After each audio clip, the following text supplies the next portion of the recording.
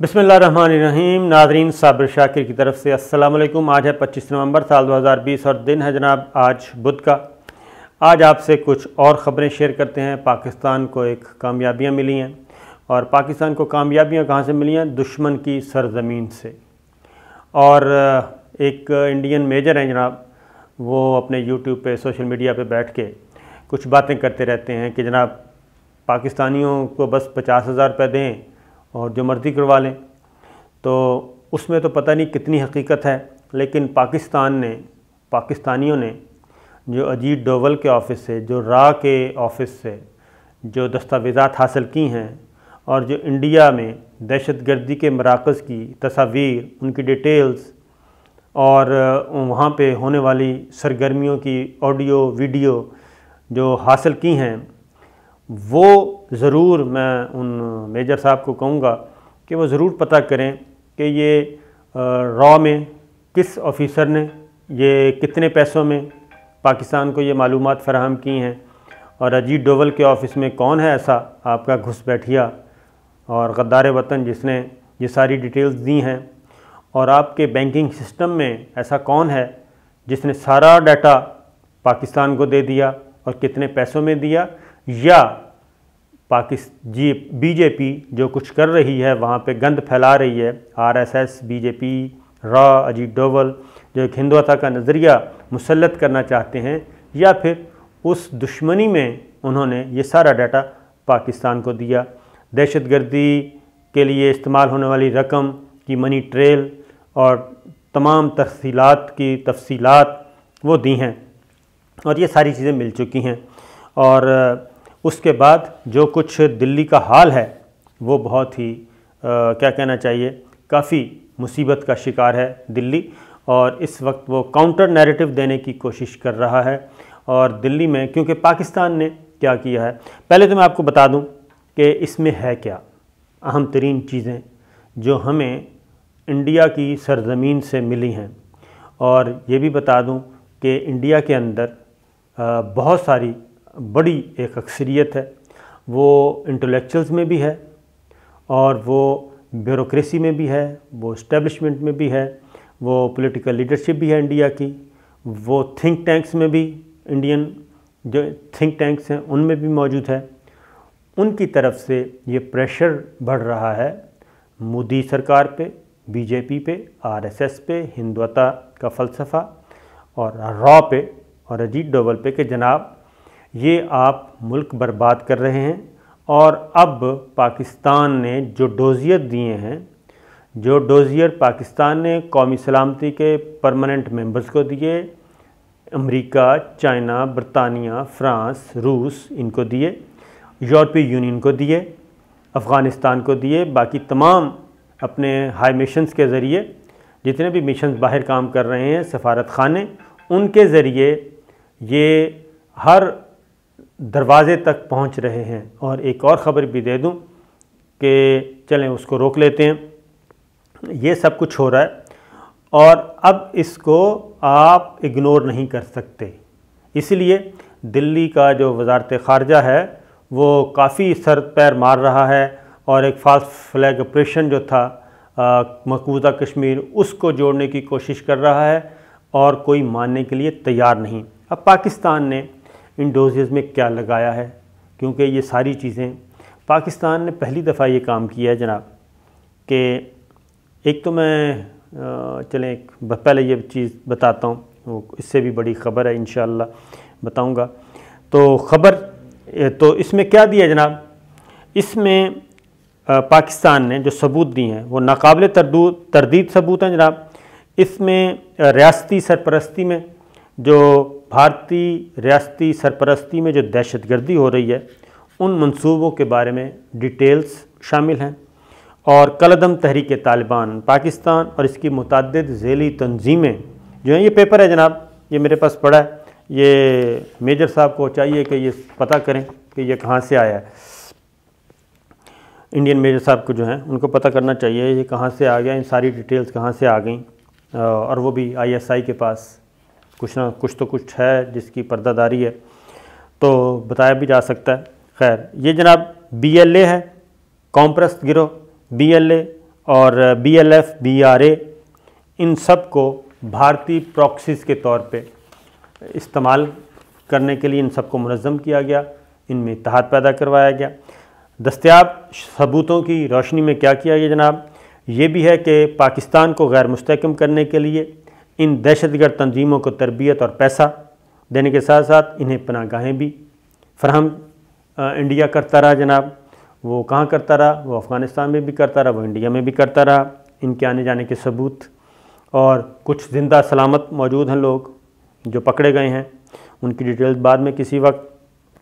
और तहकीकात में ये भी है जनाब के मुतद कामयाब ऑपरेशन के बायस जनाब दहशतगर्द भाग भी गए और भारतीय इंटेलिजेंस एजेंसीज़ ने इन दहशत गर्द तंजीम इन दहशत गर्द तंजीमों से भी और जो मफरूद दहशत गर्द थे, उनसे रबते भी किए और हो सकता है कुछ हमने उनमें से कल्टीवेट करने के बाद भी छोड़े हों, ये भी हो सकता है। और, क्योंकि रबते तो किए और इसके बाद हमें पता भी चल गया कि जनाब, इनके ताने बाने, इनकी डोरियाँ कौन हिला रहा है, ये सारी चीज़ें डोसीज में शामिल हैं। और टेररिस्ट फंडिंग ट्रेल पर मबनी इजाफी, सबूत ये मौजूद हैं। और इसमें 22 अरब रुपए की से ज़्यादा की इन्वेस्टमेंट के सबूत मौजूद हैं, जो इंडिया ने दहशतगर्द तंजीमों और दहशतगर्दों को किए। फिर पाकिस्तान में जो मौजूदा जनाब तशद की लहर है, ये बेसबब नहीं है। और ये भी जो गिलगित बल्तिस्तान में गाड़ियाँ जलाई गईं, एक हल्के में धांधली की आड़ में और उसमें जो लोग मुलवस हैं, जिन्होंने आग लगाई, वो सारे ट्रेस हो गए हैं। जिन्होंने जलाव घिराव किया, वो ट्रेस हो गए हैं। और ये भी एक तयशुदा प्लान था। और गिलगित बल्तिस्तान इलेक्शन के मौके पे तो बहुत बड़ा प्लान था इनका, जिसमें सुसाइड अटैक्स होने थे, ख़ुदकुश हमले होने थे, उसमें बारूदी सुरंगें बिछाई जानी थी। ये सारे के सारे प्लान जो हैं, वो सारे के सारे पेपर जो हैं वो हमें मिले हमें पता चला और किन्होंने बताया ये इंडियन मेजर साहब आपको पता करें कौन है वो लोग। फिर जनाब कलदम तहरीक तालिबान पाकिस्तान के जो मुतहरब धड़ों का आ, हालिया इतिहाद इसको सुपरवाइज़ कौन कर रहा है? इसको जनाब भारत के ऑफिशल्स कर रहे हैं और रॉ के लोग कर रहे हैं। और पूरा एक विंग है, वो कर रहा है। वो भी सारी details with documents in doses में शामिल हैं, जो कि यूरोपीय यूनियन जो कि पी फाइव परमानेंट कंट्रीज़ जो हैं मेंबर हैं। सलामती काउंसिल उनके पास मौजूद हैं। ओआईसी को भी पहुंचाई जा रही हैं, जिसका कोई फ़ायदा नहीं है। भारत की जानब से बलूचिस्तान के कॉम्प्रेस शिदत पसंदों की सरप्रस्ती का मकसद सी पैक को तबाह करना था। सी पैक के मंसूबे में रुकावटें पैदा करनी थी। ये भी था जनाब। और सी पैक मनसूबे के ऐलान के फ़ौर बाद 2015 में ये जनाब रा हेड क्वार्टर में ये सब कुछ एक विंग कायम किया गया था। इसकी डिटेल्स हैं, डॉक्यूमेंट्स के साथ इसकी डिटेल इन डोजियज़ में मौजूद हैं। और ये अखबारी ख़बरें नहीं हैं, ये मैं आपको बता दूँ कि दिल्ली सरकार सुन ले कि इसमें कोई अखबारी तराशा नहीं है। अखबारी तराशा नहीं, ये आपके अपने ऑफ़िस के आपके अपने हेड क्वार्टर के, आपके अपने लेटर हेड्स के आपकी अपनी इंटरनल जो ख़त किताबत है, वो सारे सबूत हैं। उसके बाद जनाब 80 अरब रुपया दिया गया जनाब, और 80 अरब रुपया ये खसूसी सेल को दिया गया, जिसका मकसद था सी पैक गिलगित बल्तिस्तान और गवादर, इन सबको, और गिलगित बल्तिस्तान का मैं आपको बता चुका फिर आगे मैं जाके आपको डिटेल बताता हूँ, ख़ास तौर पे। जो मैंने पिछली वीडियो में आपको बताया कि ग्वादर पोर्ट फाल हो गई है तो ये सारे का सारा पैसा इनका डूब गया।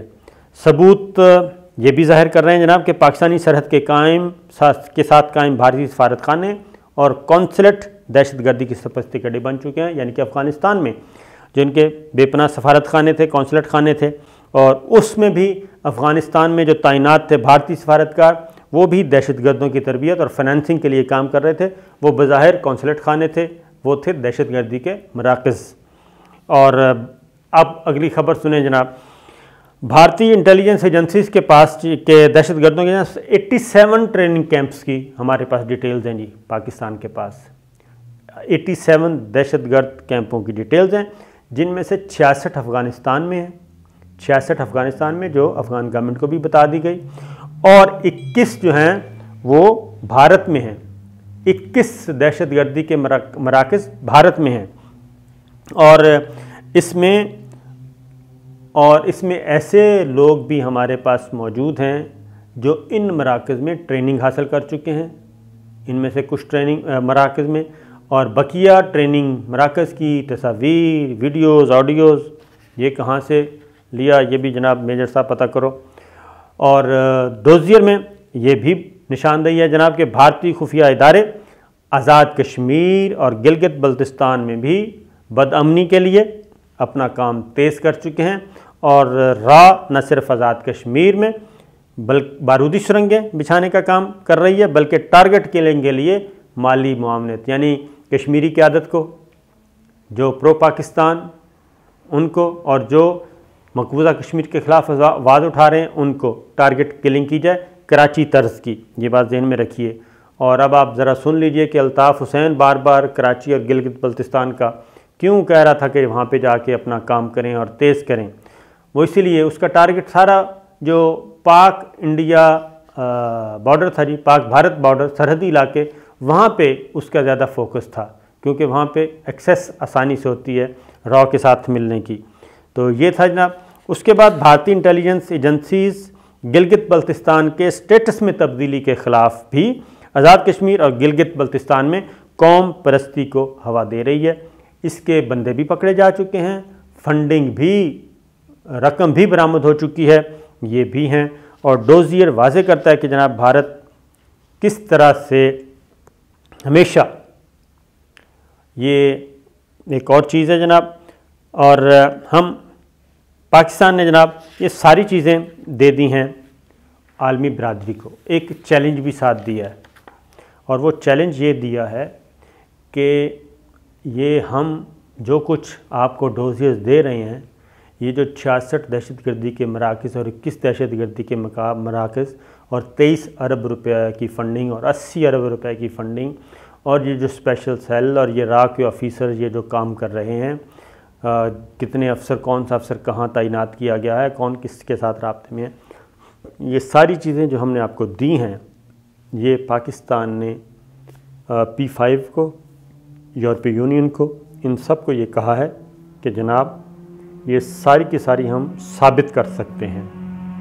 हमने जहाँ जहाँ पॉइंट आउट किया है, आप इन जगहों को देखें और उसके बाद आप ख़ुद फ़ैसला करें और उसके बाद सूरत हाल ये है कि इन तमाम डोजियर्स की, इन तमाम मामला की पाकिस्तान, चाइना ने इसकी हमायत कर दी है।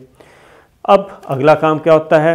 अगला काम ये होता है कि अब ये सारी चीज़ों को निमटने के लिए पाकिस्तान ने, इमरान ख़ान साहब ने एक फ़ैसला किया वज़ी अजम ने, और वो ये किया है कि आईएसआई को मज़ीद एम्पावर किया जाए और आईएसआई की सलाहियतों को मज़ीद बढ़ाया जाए।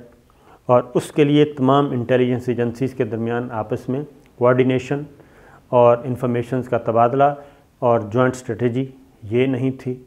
आपस में अलग अलग काम कर रहे थे। M I I S I F I A और पुलिस और सिक्योरिटी फोर्सेस और ये सारे अलग अलग काम कर रहे थे। इनके लिए इदारा बनाया गया था नेक्टा लेकिन वहाँ पे ये एक बना, बनाया जाना था जॉइंट डायरेक्टोरेट बनाना था, वो नहीं बन सका था। अब एक नया एक जनाब बनाया गया national intelligence coordination committee.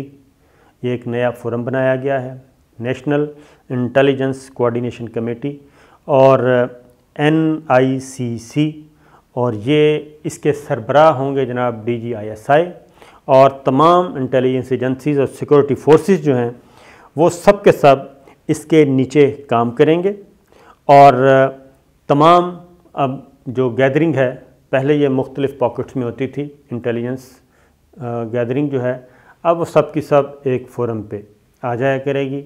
IB के पास क्या मालूम हैं? एफआईए के पास क्या हैं? एफआईयू के पास क्या हैं? एमआई के पास क्या हैं? आईएसआई के पास क्या हैं? वो सारी की सारी इस फोरम पे आया करेंगी और इस इदारे को इन्हांस कर दिया गया है। और ये एनआईसी जनाब ये काम करेगा। और दिफाई अमूर के जो माहरीन हैं, ये सब इसको कह रहे हैं, जनाब, ये बहुत ही इम्पोर्टेंट काम किया गया है। तो ये भी एक इनकलाबी कदम समझें आप। उसके बाद अब आते हैं army chief general Qamar Javed Bajwa की सरबराही में जो हुआ इजलास। वो इजलास भी इसी मसले पे था। तमाम की तमाम कार्रवाई अगर आप उसकी देखेंगे तो वो ये बता रही है कि उसमें क्या क्या नंबर वन सी पैक था जी। कि क्योंकि अब ये फंक्शनल होने जा रहा है, ग्वादर फंक्शनल हो गया, ग्वादर पोर्ट तो इस पे मज़ीद अब थ्रेट्स हैं और इसको मज़ीद सबोटाज किया जाएगा, क्योंकि जो इतना अरबों, खरबों रुपया और पूरे के पूरे विंग्स कायम किए गए, इदारे कायम किए गए और एक रॉ का एक स्पेशल विंग जो है, इस पर लगा हुआ है और उसके साथ, इन, ये सिर्फ़ अकेले नहीं है, बाकी भी हैं जिन, हमारे जो दोस्त नवा दुश्मन और दुश्मन, ये सारे के सारे। ये सब हैं तो सी पैक के बारे में कहा गया जनाब। हर सूरत में ये जितने भी थ्रेट्स हैं, इसको हम भुगतेंगे, निपटेंगे, और इसके लिए किसी किस्म की कोई रियायत नहीं की जाएगी किसी के साथ भी। फिर यह है कि लाइन ऑफ़ कंट्रोल पे मज़ीद बेहतर किया जाएगा सिचुएशन और एक और बात कही गई है कि जनाब, किसी भी किस्म का मिस एडवेंचर किया गया तो दुश्मन को हम तैयार मिलेंगे। और कोविड 19 ख़ास तौर पे इसको भी कौमी सलामती का इशू करार दिया गया है। और कोर कमांडर कॉन्फ्रेंस में और पाक फ़ौज और रियासती इदारे, पाक फ़ौज और दीगर रियासती इदारे आपस में मिलकर अंदरूनी और बैरूनी चैलेंजेस का मुकाबला करेंगे। और ख़ास तौर पे इनसे ये कहा गया है, जनाब और इसमें जो कोर कमांडर्स जिन्होंने रिटायर होना है, उन, उनको भी जनाब खराज तहसीन पेश किया गया। और इसमें ख़ास तौर पे जी कुछ और चीज़ें जो की गई। वो अफ़गान पीस प्रोसेस एजेंडे पे था और अगेन अफ़गान पीस प्रोसेस को सबोटाज करने के लिए भारत इस वक्त सबसे ज़्यादा, भारत और उसके पीछे कुछ और हैं। वो सब के सब ये काम कर रहे हैं जनाब। कि किसी भी तरीके से पीस प्रोसेस को सबोटाज किया जाए। अफ़गानिस्तान में बेपनाह धमाके हो रहे हैं दहशत गर्दी के और उनमें जानी और माली नुकसान हो रहा है। उसका वाद मकसद एक ही है कि किसी भी तरीके से ये जो पीस एग्रीमेंट हुआ है और इंटर अफगान डायलॉग जो हो रहे हैं, जो कामयाबी के करीब हैं और दिसंबर में आधी 2500 अमेरिकी फ़ौज ट्रूप्स जो वापस जाने हैं और बाकी मई 21 तक तमाम की तमाम गैर मुल्की अफवाज वहाँ से निकलना है। तो ये सारी चीज़ों को सपटाश करने के लिए गिलगित बल्तिस्तान का मौजू कोर कमांडर कॉन्फ्रेंस का एक अहम मौजू था जनाब। गिलगित बल्तिस्तान, बलूचिस्तान तो ये सारे सिक्योरिटी मामला जो हैं वो कहे गए और अज़ जो ज़ाहिर किया गया वो मैं आपको बता चुका हूँ। तो जनाब ये थी वो सारी की सारी ख़बरें जो मैं आपसे शेयर करना चाह रहा था। बाकी इंडिया ज़ोर लगा रहा है जनाब, दिल्ली की चीखें मौजूद हैं, लेकिन जैसा कि मैंने बताया कि कोई अब मानने के लिए तैयार नहीं है क्योंकि सबूत बहुत क्लियर है।